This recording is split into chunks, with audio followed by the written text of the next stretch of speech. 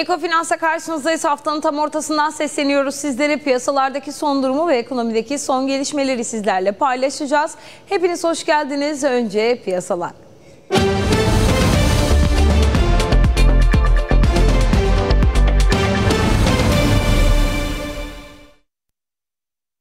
Piyasalarda Fed'in bugün açıklayacağı e, faiz kararı ön plana çıkıyor. Onlar fiyatlanıyor. Dolar TL bu sabah 17.28'den işlem görüyor. Euro TL 18.09'dan sterlin TL ise 20.78'den işlem görüyor. Euro dolar paritesi ise 1.04 seviyesinde bulunuyor. Borsaya bakalım. Borsa İstanbul'da BIST 100 endeksi güne %0.21'lik artışla 2514 puandan başladı. Ve kripto paralardayız. Kripto The. Aşağı yönlü seyir devam ediyor. Sert düşüşler yaşanıyor. Bitcoin bu sabah 20.578 dolardan işlem görüyor. Ethereum ise 1079 dolara kadar inmiş durumda. Altında da gözler Fed'in faiz kararında gram altın 1010 TL'den işlem görüyor. Çeyrek altın 1656 TL'den. Cumhuriyet altında 6813 TL'den satılıyor. Altın ons fiyatı da 1821 dolar seviyesinde bulunuyor.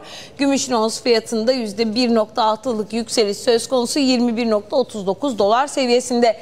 Ve petrolde de Amerika Birleşik Devletleri Merkez Bankası'nın faiz kararı öncesi dalgalı, dalgalı bir seyir izleniyor.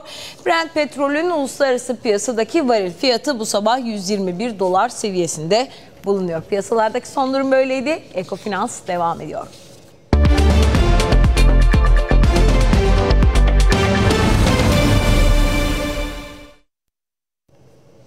Küresel piyasaların gözü Amerika Birleşik Devletleri Merkez Bankası'nın faiz kararına odaklandı. Fed'in para politikasını belirleyen Federal Açık Piyasa Komitesi'nin Haziran ayı toplantısı yarın başlıyor. Fed faiz kararını ise bugün Kuzey Kıbrıs saatiyle 21'de açıklayacak. Faiz artırım kararının yanında Fed'in piyasalara vereceği mesajlar ve Fed Başkanı Jerome Powell'ın 21.30'da gerçekleştireceği basın toplantısındaki açıklamaları izlemeyi sürdürecek gelecekleri sıkılaşma politikasıyla ilgili ipuçları vermesi açısından kritik önemde olacak.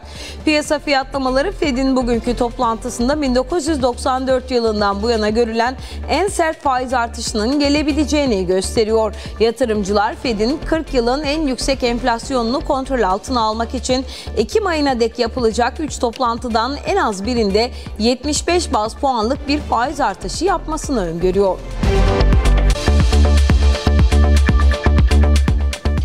Avrupa Merkez Bankası Yönetim Konseyi olağanüstü toplantı kararı aldı. Avrupa Merkez Bankası Yönetim Konseyi mevcut piyasa koşullarına görüşmek üzere bugün önceden planlanmamış bir toplantı yapacak.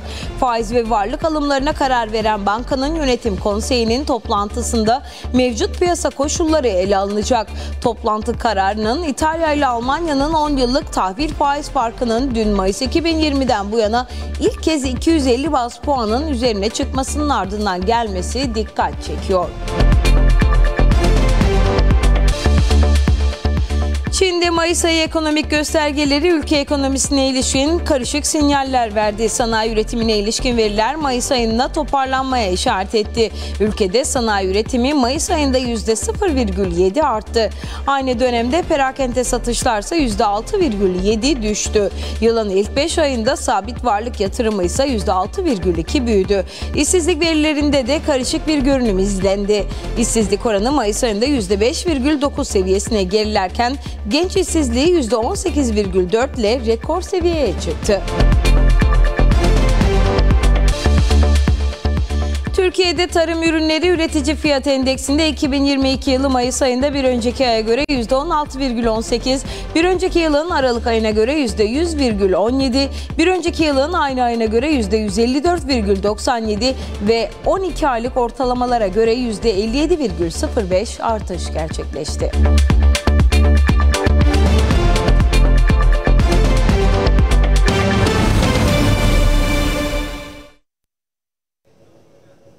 Sayın seyirciler yeni ekonomik önlem paketi yolda. Bugün Merkez Bankası'nda gerçekleştirilecek toplantıda ekonomik önlem paketi masaya yatırılacak.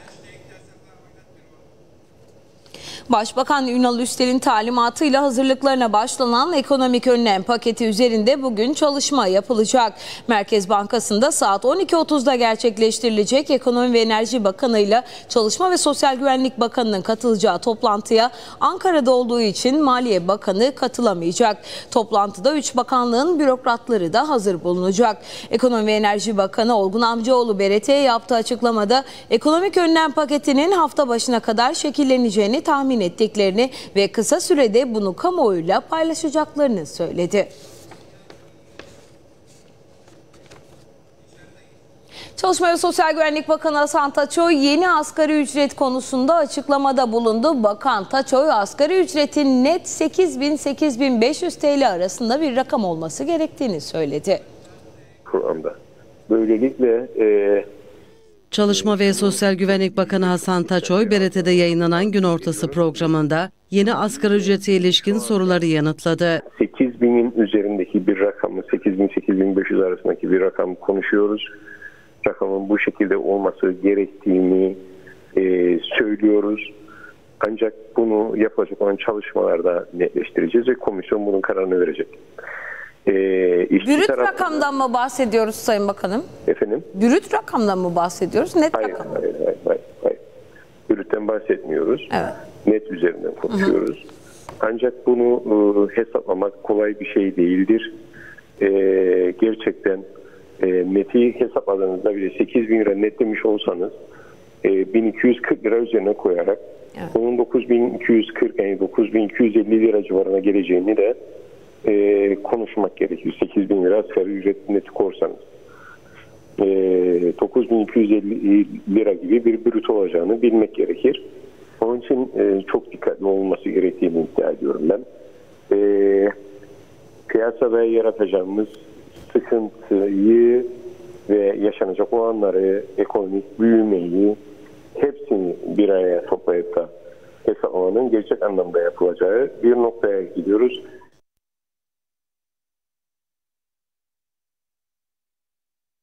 Kuzey Kıbrıs Türk Cumhuriyeti Merkez Bankası 2021 yılı faaliyet raporunu yayımladı. Aktif toplamı %75 artan banka 2021 yılı için 506,5 milyon TL kar açıkladı. Kuzey Kıbrıs Türk Cumhuriyeti Merkez Bankası 2021 faaliyet raporu bankanın web sitesinden yayımlandı. Rapora göre Kuzey Kıbrıs Türk Cumhuriyeti Merkez Bankası bilançosu aktif toplamı 2021 yılında önceki yıl sonuna göre %75,3 artarak yıl sonu itibariyle 29.253,4 milyon Türk lirasına, öz kaynaklar toplamı 1.376,1 milyon Türk lirasına, Yasal karşılıklar 4.920,5 milyon Türk lirasına, bankalar arası para piyasası işlemleri ise 9.956,3 milyon Türk lirasına ulaştı. 2020 yılında 341,9 milyon Türk lirası olan Merkez Bankası karı 2021 yılında 506,5 milyon Türk lirasına yükseldi.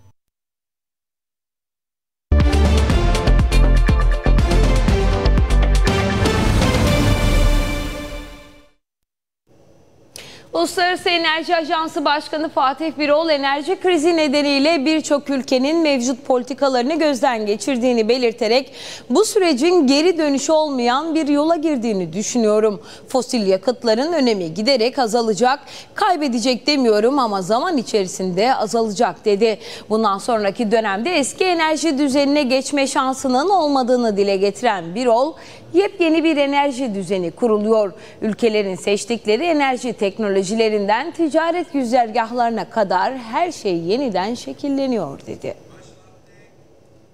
Uluslararası Enerji Ajansı Başkanı Fatih Birol yaptığı açıklamada petrol, doğalgaz, kömür ve elektrik piyasaları olmak üzere enerji sektörünün bütün kollarını kapsayan küresel bir enerji krizi yaşandığını anlattı. Birol Avrupa'da 3 yeni gelişmenin gözlendiğini ifade ederek bunlardan ilkinin yenilenebilir enerjiye verilen önemin hız artması olduğunu söyledi. İkinci olaraksa ülkelerin ilk defa enerji verimliliği konusunda yasal olarak bağlayıcı kararlar aldığını aktaran Birol, üçüncüsü de nükleer enerjide bir geri dönüş görüyoruz. Örneğin Belçika hükümeti nükleerden çıkışa karar vermişti. Biz Belçika hükümetine nükleerden çıkışı ertelemelerini tavsiye ettik. Bu süreyi 10 yıl ertelediler. Birçok ülke şimdi nükleere son derece farklı gözle bakıyor. Mevcut enerji krizi ülkelerin enerji politikalarını gözden geçirmeleri ve öncelik sıralamalarını yeniden düzenlemelerini beraberinde getirdi. Bu sürecin geri dönüşü olmayan bir yola girdiğini düşünüyorum. Fosil yakıtların önemi giderek azalacak, kaybedilecek demiyorum ama zaman içerisinde azalacak dedi. Birol, 2019'da dünyada satılan 100 araçtan ikisinin elektrikli olduğunu anımsatarak, şu anda satılan her 100 araçtan 10'unun elektrikli olduğu bilgisini paylaştı. Bu trendin hızlanarak devam edeceğini dile getiren Birol, aynı şekilde devam etse dahi 2025'te ulaşımdaki petrol talebi zirveye ulaşıp düşüşe geçiyor. Çünkü petrol talebinin önemli bir kısmı araçlardan geliyor. Bu nedenle petrol talebinde bir zayıflama olacak diye konuştu. Petrol ihraç eden ülkeler örgütü küresel petrol üretiminin Mayıs'ta bir önceki aya göre günlük 150 bin varil azalarak yaklaşık 98 milyon 750 bin varile gerilediğini duyurdu. Petrol ihraç eden ülkeler örgütü, küresel petrol üretiminin Mayıs'ta bir önceki aya göre günlük 150 bin varil azalarak yaklaşık 98 milyon 750 bin varile gerilediğini duyurdu. OPEC'in küresel petrol üretimindeki payı ise %28,9 olarak kayıtlara geçti. Bu rakam bir önceki ay %29 seviyesindeydi. OPEC 2022 yılının çok sayıda belirsizliğe maruz kaldığına işaret ederek küresel petrol talebine yönelik öngörüsünü sabit tuttu ancak yılın ikinci çeyreğinde Çin'de devam eden salgın kısıtlamaları nedeniyle talebin bir miktar azalacağını öngörüyor. Buna göre OPEC küresel petrol talebinin bu yıl geçen seneye kıyasla günlük bazda 3 milyon 360 bin varil artarak 100 milyon 290 bin varile ulaşması bekleniyor.